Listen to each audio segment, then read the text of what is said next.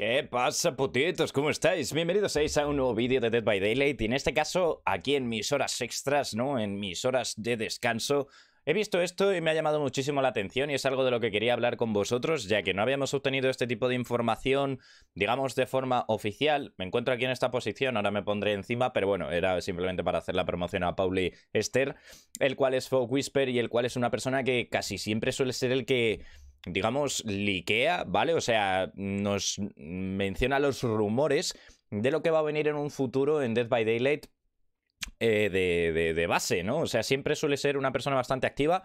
Os recomiendo que le sigáis. Hay cosas que a lo mejor son de más interés, como esta, y hay otras que a lo mejor son un poquito menos de interés. Pero oye, me parece un gran creador de contenido y me parece un gran Fog Whisper. Ya os digo, yo pienso que tiene algo, no sé, algo más con la empresa porque siempre va un paso por delante. Yo me voy a posicionar ya en la parte de arriba, vamos a reaccionar un poquito a lo que viene diciéndonos y claro, vosotros diréis, oye Dani, ¿por qué estás haciendo la reacción a este contenido de Pauli?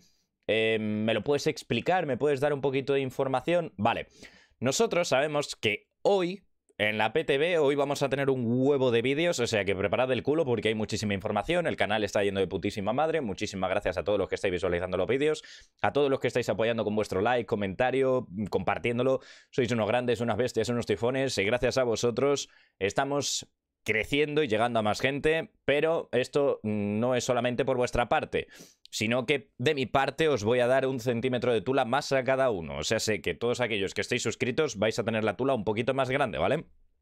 Si eres chica, mmm, cuidado.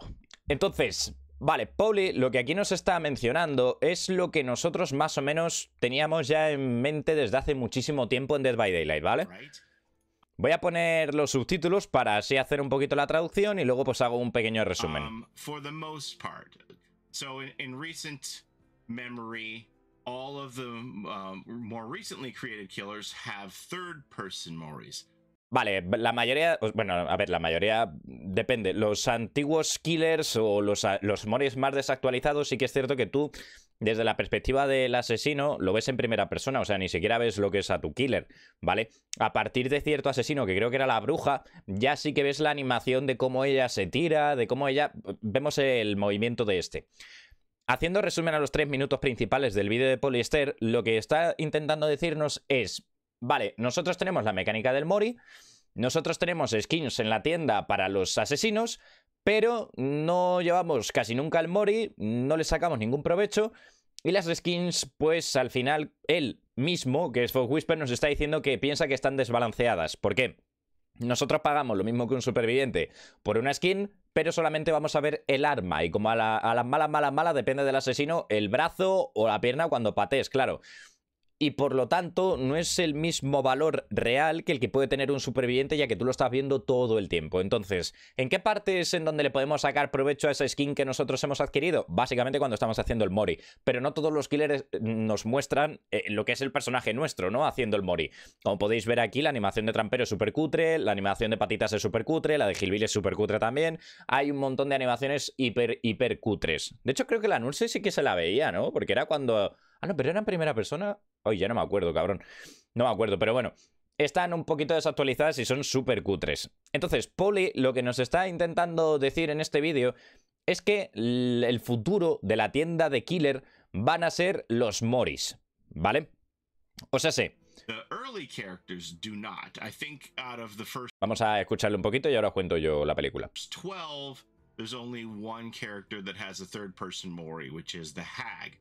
All of the other Moris are performed first person. I'm very curious to see if that is going to remain the same once this finisher Mori comes in, because I think that I don't know if it's intentional or it may just be a byproduct of design. If they are changing. Vale, él dice que no sabe, no, como que está intentando decirnos que no tiene mucha información al respecto de esto. Pero bueno, nos está diciendo cosas que no habíamos tampoco pensado demasiado, ¿no? Que podrían suceder de esa manera. These Moris for these cinematics at the end of the game to third person Moris, that would be another opportunity for you to see your character and uh, you know show yourself off. Vale. Lo que nos está intentando tratar de decir básicamente es que en la tienda a partir de cierto momento lo que vamos a poder van a comprar van a ser finishing mori, o sea, sé, animaciones finales de partida. Básicamente, Trampero coge una trampa, te la estalla en la cabeza, te revienta el cráneo. Trampero, te agarra mm, por la cintura, te mete en una trituradora y sales hecho un cubito, ¿no? Básicamente fatalities del Mortal Kombat, pero en versión Dead by Daylight. A mí me parece genial esta idea, es algo que siempre hemos querido y siempre hemos pensado para poder variar lo que venía siendo la animación final. Ahora con el tema este de los fatalities, pues la verdad que me llama muchísimo la atención también los moris, o sea, lo que vienen siendo el de ébano, el, o sea, el, amarillo, el verde y el, y el rojo nos van a servir porque es una eh, motivación, digamos, por parte del asesino para mm, intentar, pues eso, sluguear y que se active el finishing mori, y así de esa forma llevarte X puntos extra y que salga la animación final, ¿no? O sea, va a ser un objetivo guay, me parece a mí, divertido y el cual, bueno, pues depende de cómo sea la partida y en qué punto te encuentres, habrá que ver. Ya sabemos que el juego todavía a día de hoy sigue bastante desbalanceado, pero bueno, poquito a poco que luchen contra ello. Me parece correcto lo que van a introducir ahora. Y me parece que lo de los Finishing Mori nos, a dar, nos va a dar un objetivo a muchos creadores de contenido, como en plan para mm, crear series, ¿no? De hacemos el Finishing Mori a cuatro Survivors, ¿no? Así como en plan siempre con el de Ébano. Y, mm, y, consiguiendo tirar a los cuatro. Y me compro la nueva animación de Finishing Mori y me consigo derribar a los cuatro con el ébano. ¿Sabes? O sea, ya se está viendo un poquito lo que quieren que nosotros hagamos en el videojuego. Y me parece de putísima madre, sinceramente. Me parece jodidamente épico porque, oye, yo sí veo que los fatalities estos, los finishing mori, se los curran y tenemos muy buenas animaciones. Pues yo creo que todos no los compraríamos. En cuanto al tema de las skins, yo siempre he dicho lo mismo. Deberían de tener un poquito menos de precio que las skins de los supervivientes. Básicamente por eso, ¿no? Porque no terminas de ver la skin, tú nada más que ves el arma. Y en muchas ocasiones tampoco se ve demasiado, ¿no? Como en el Doctor. Doctor tiene el arma que, vamos, que la, ves el, pico del arma nada más. O sea, no ves nada en la pantalla casi. Wesker, por ejemplo, ya hemos visto, ¿no? Que llevas el cuchillo ahí en el lateral de un trocito. O sea que al final no ves prácticamente nada de ellos. Salvo cuando están haciendo las animaciones que bueno, al final va a ser una por partida, o sea que tampoco vamos a tener cuatro como pasaba antes con el Mori. Pero bueno, mm, es la evolución del juego, hay que adaptarse a ello y tenemos que disfrutar. También te digo, ha sido una idea que esta siempre la he tenido yo de base, en donde el asesino debería de poder tener armas evolutivas. O sea, si tú te compras el arma evolutiva en la tienda, por ejemplo, un arma con forma, yo qué sé, de, lente, ¿no? O algo así.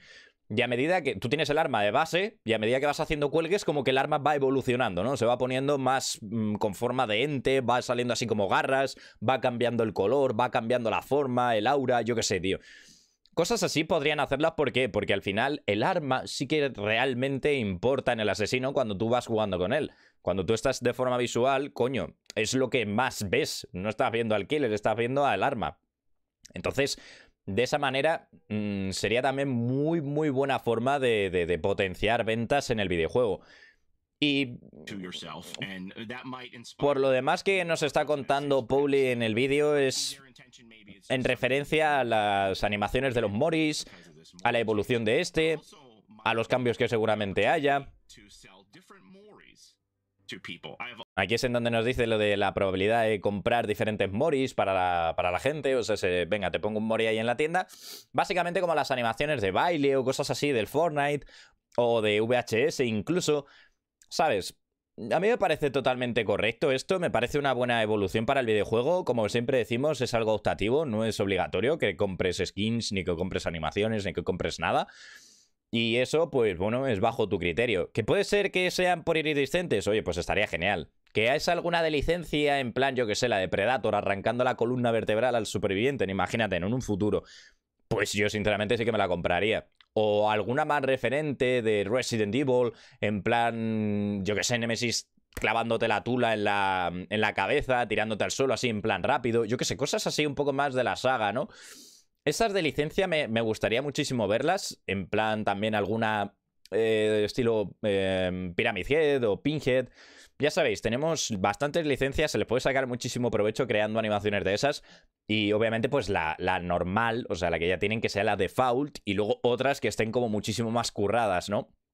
O incluso que tengan muchísimas más efectos. ¿Por qué? ¿Por, qué digo lo de los efectos? Básicamente porque, claro, tú cuando matas a un Survivor ya sabéis que está así como un poco modo censura, ¿no? Que aunque le hagas 200 virguerías al cuerpo, tú luego lo tiras y se queda ahí plasmado en el suelo. Pero claro, ahora va a ser diferente. ¿Por qué? Porque directamente la partida va a terminar. Por lo tanto, yo creo que los detalles sí que pueden currárselos más. Como en plan, bueno, si le pegas una hostia en la pierna, que se haga como un corte, si le pega un. ¿Sabes? No sé, algo así podría estar un poquito más original y más guapo. O, por ejemplo, el Buba cuando corta con la sierra, yo que sé, que se desmiembre ahí el personaje, ¿no? A lo Mortal Kombat, un Fatality estos guapos.